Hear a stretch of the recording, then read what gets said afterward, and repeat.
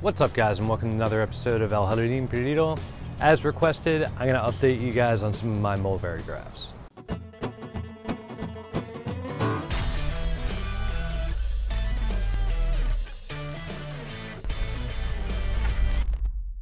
Alright guys, so I've done a previous video. I'll put a little card or a link down below to it on some uh, different mulberry grafts. One of which, which has done very successful this second time around. One of which was uh, I had a male Pakistan mulberry and it was nice and big, set off flowers but no fruit, meaning it was a male. And so I took it down and I had a little trial and error. Um, I had some successful grafts and some birds perched on it and broke it off. Anyway, this time around, I waited till it was just breaking out of dormancy in early, I think, late February, early March. So I grafted on an everbearing mulberry and uh, I'll have to double check on the second one. I think it was a new Pakistan. But uh, let's go ahead and check that out. So here's the old rootstock. And as you can see here, this is the everbearing on this side, taking off beautifully, pushing nice growth. It's doing awesome. Um, I have unwrapped it. The joints don't look too pretty but eventually those will heal over. As for the other one, yes, it is a Pakistan. I have it roughly labeled with a P, and we have growth here. It's doing all right. I still have it wrapped up just because it's not really pushing. There's no need for it. But when it gets a little more vigor, I'll probably unwrap it. Um, we don't have any issues with too much condensation in there or anything, so. But yeah, that one's looking pretty well too. So one thing you'll notice with that last one, the fact that it is a multi-graft. I've struggled this with my multi-grafted uh, stone fruit tree, which I can, I will update you on later, but I can show you previous videos.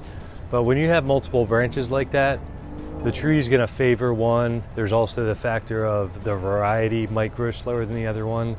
So as I get more growth on that, I can prune accordingly. Um, there could be the chance that the tree picks one over the other. So we'll see about that. Anyway, I'll keep you guys updated further down the road as that takes off more and hopefully we get some fruit soon. And so the other project I had was I had three wild mulberries. I'd put them in the ground, I dug them up from behind my yard. I put them in the ground just to establish shade. So after a while, I think to myself, why not graft some favorable varieties on there? Um, so we'll go check that out now. You can see I grafted these pretty high, but this is another everbearing and they seem to take off really well. Um, but look at all that growth. And as I have uh, shoots down here, as I get shoots down here, um, this is what I do. I just, while they're young, I just flake them off. And there's actually some older ones here. But since we are getting more growth here, I might actually leave some of these to go as long as they don't compete too much and take out too much uh, energy out of the actual graft itself. This is the favorable, this is what we want to keep, this is the everbearing. So next up was the white Russian.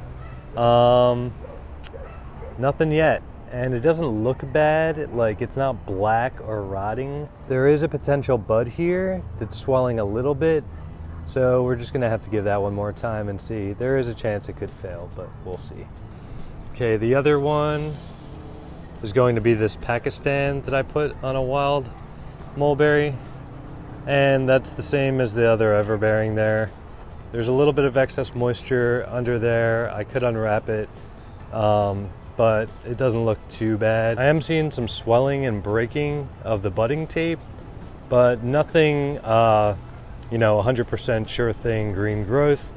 But like I said, um, in the previous one, it's not black, it's not rotted, it's just not giving me a whole lot right now. So I'll have to keep you guys updated on that further down the road too. All right guys, so for three out of the five, um, really doing well. I'm pretty stoked on this. Uh, the concept is pretty awesome. Mulberries are super easy to grow. You can even grow them from cuttings. Um, but I have noticed that it's been a bit of a challenge to graft them. The current success rate I'm pretty happy with. I'll put a link down to those uh, previous videos, so if you guys are interested, you can go ahead and try to graft some yourself. I mean, it's a cool concept, especially the uh, multi-graft and having different varieties. I like the concept. Mulberries, certain varieties can be so short-lived. As a fruit, they do hold a longer uh, period of fruiting, especially the everbearing, but it is nice to have like different varieties. They can pollinate each other too and stuff. So there are a lot of benefits. Anyway guys, hopefully you thought this was interesting and helpful.